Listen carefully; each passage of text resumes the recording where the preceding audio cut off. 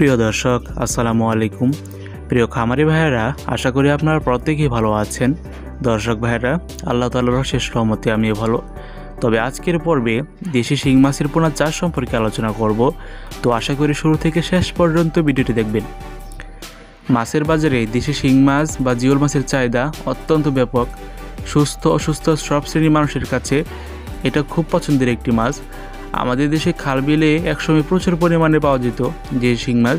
কিন্তু বর্তমানে বিভিন্ন কারণে এবং প্রাকৃতিক বিপর্যয়ের কারণে যে শিং মাছ এখন দেখতে পাওয়া যায় না। শিং মাছ খেতে খুবই সুস্বাদু। বাজারে ভোক্তাদের নিকট এর অনেক চাহিদা রয়েছে। ডুবা, ছোট ছোট পরিত্যক্ত পুকুর এবং পরিকল্পিত পুকুরে এই মাছের পোনাগুলি চাষযোগ্য। অন্যান্য মাছের তুলনায় কম খাদ্যে বাঁচে সাধারণ প্রতিকূল অবস্থায় এরা দীর্ঘক্ষণ বেঁচে থাকতে পারে। হ্যাচারিতে পোনা পাওয়া যায়, সম্পূরক খাবার খাইয়ে আপনি নিজেই এগুলি চাষ করতে পারেন। একক বা মিশ্রভাবে চাষ করার ক্ষেত্রে আপনি শিং, মাগুর, ভিয়েতনাম কই, তাছাড়াও সাদা মাছের সাথেও আপনি এগুলি কার্প জাতীয় মাছের সাথে মিশ্রভাবে চাষ করতে পারেন। দর্শক ভাইয়েরা, তো শিং মাছ হচ্ছে এমন একটি মাছ যেটা মূলত বায়োফ্লকে পুকুরে আরএসে তাছাড়া বটন প্রিনে চাষ করার ক্ষেত্রে আপনি অত্যন্তময় সুবিধাজনক কিছু তথ্য পেতে পারেন। তবে পুকুরে চাষ করার ক্ষেত্রে আমাদেরকে অবশ্যই পুকুরটি ভালোভাবে প্রস্তুত করতে হবে।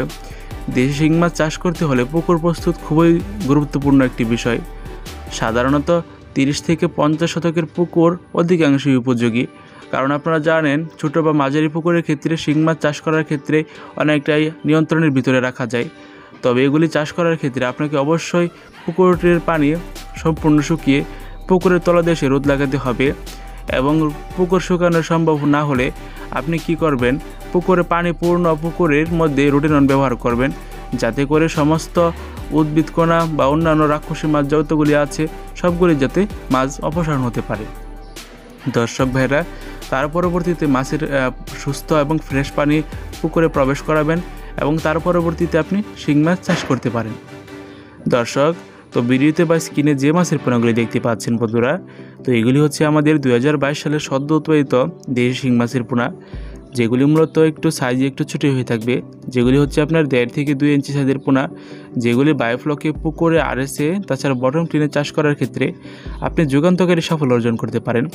তবে এগুলি যদি বায়োফ্লকে চাষ করেন, তাহলে প্রতি লিটারে এক পিস মাছ দিতে পারেন।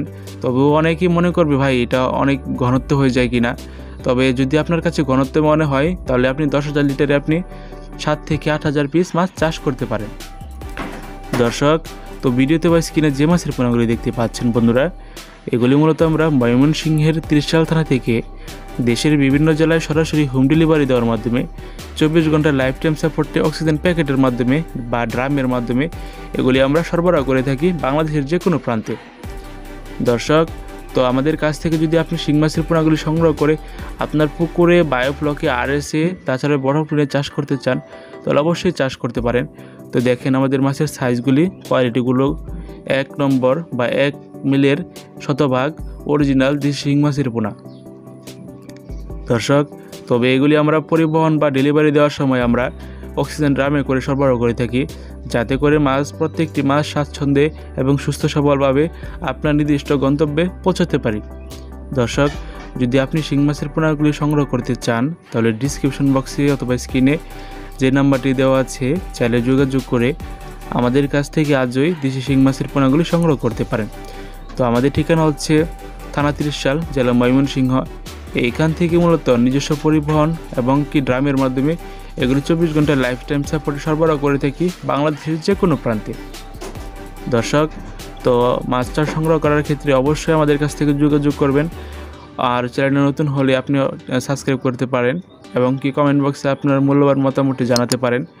এবং কি চ্যানেলে নতুন হলে সাবস্ক্রাইব করবেন লাইক বাটনে লাইক দিয়ে আমাদের সাথে থাকবেন। খুদা হাফেজ।